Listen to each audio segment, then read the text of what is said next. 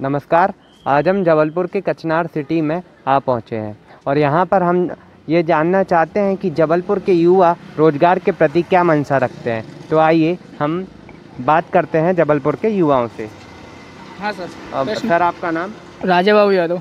राजा बाबू यादव। नाम तो बहुत अच्छा है भाई आपका।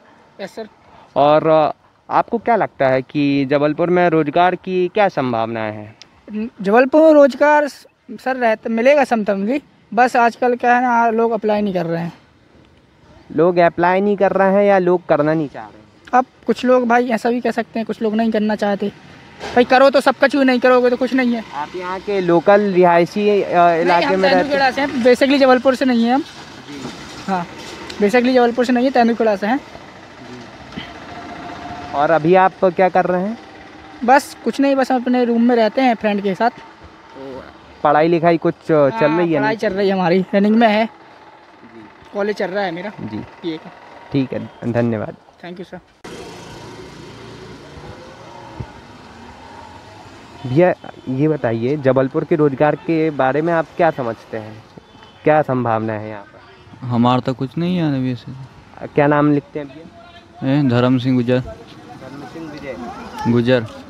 और रोज़गार की क्या संभावना है कुछ बता सकते हैं? नो हमारा नहीं वीडियो बनाया आप बताइए कुछ।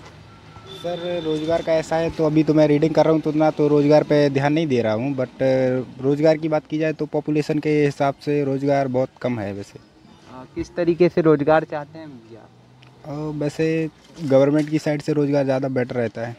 बेटर है। ऐसा। ठीक है भैया धन्यवाद।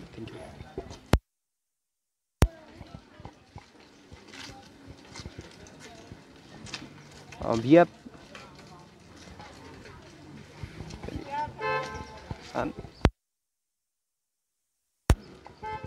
आंटी जी जबलपुर के रोज़गार के विषय में अ, जानकारी चाहते हैं। क्या आपको लगता है क्या है रोज़गार?